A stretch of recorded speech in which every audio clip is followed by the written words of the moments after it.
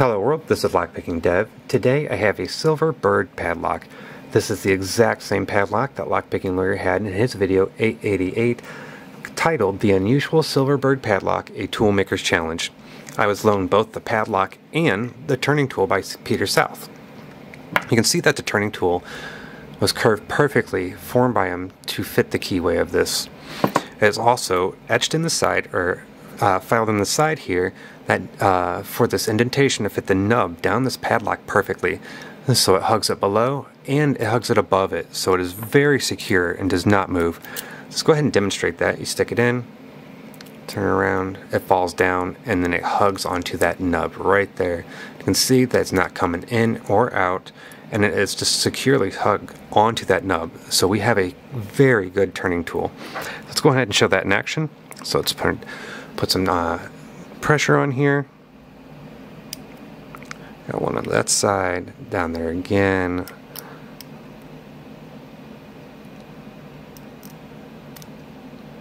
I think that side might be good.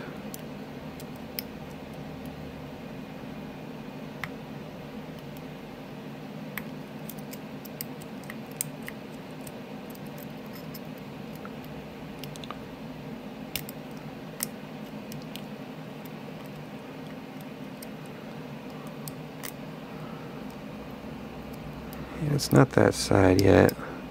Usually it seems to go side by one side at a time. Let's check this side over here again. Yeah, there we go. And there's our open. So you can see that this turning tool holds this very snugly, very securely. It is ideal for this lock. So we, there we go, we take that out. And because it is a toolmaker's challenge, I wanted to take that challenge myself and I talked to Peter about how he made this, and I just I don't have the the patience, the time, or really I don't think the know-how to quite mess with um, hitting this up, softening the metal, and getting it curved yet. That would just take a little time for me. He did a superb job on this. So what I did is I took a windshield wiper blade and I cut it straight down the middle with my bandsaw. That's all this is. So let's give this one a shot real quick. And I did go as far as to at least measure, so it fits right there on that nub. In fact, I'm not sure if I showed that nub yet, so let's show that nub real quick. It's in the top here, you can see it. Down there, that silver thing that's glowing in there. So right there, that's the nub that we're grabbing onto. You can see a little shadow behind it. So yeah, I believe that, yeah, there's, there's just a little nub hanging out there. Almost like a pin. And so yeah, my tool just fits perfectly down there and I have to just secure it, push it down onto it to make it secure. And then add our turning pressure. And you can see that it does, it is not quite, it goes to the side a little bit, unlike Peter's, is more secure. And Peter's is way more secure than this one. So this one does have a little difference on it, and I don't think it's binding on a pin though, so I think we are good. Let's go ahead and give this a shot. Go.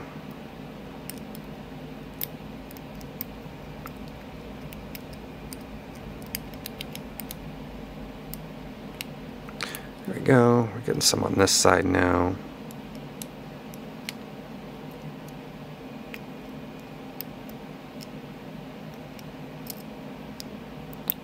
There we go. That one popped back out on that side. Check the bottom here, and there's our open. So there we go. And the reason why I wanted to take the challenge and try a different tool is because you can see, and it's a good reminder, just in general, that for two things, that sometimes a key like this, and I've had a few locks like this lately, a key can be very intimidating, especially a keyway but if you take some time, and especially like Peter did, take your time and really figure out what's going on, you can create a superb, just an amazing tool that is ideal for your lock.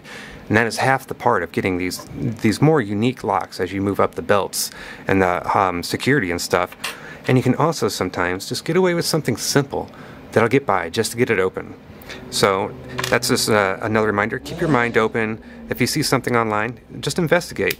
And the reason why I did is because all I did was I just took my light and I shined it down in here and I looked myself and I saw that nub in there. And so I was like, all right, here we go. And sure enough, it works. But yeah, again, just not, not near as gorgeous as this. You can see even he, he heat treated it to melt, to, um, get it soft, uh, to mold it and everything. Just, ah, gorgeous. But anyways, thanks to Peter South for loaning this to me. And um, I do have to agree um, with Lockpicking Lawyer. There are some locks that are just toolmakers challenges, and um, there are multiple ways about going about those. Alright everyone, thanks for watching.